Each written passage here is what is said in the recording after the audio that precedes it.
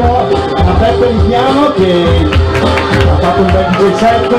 In console del grandissimo Danny Michele DJ complimenti a tutti grazie di essere qui settimo anno alla Verde. Buona serata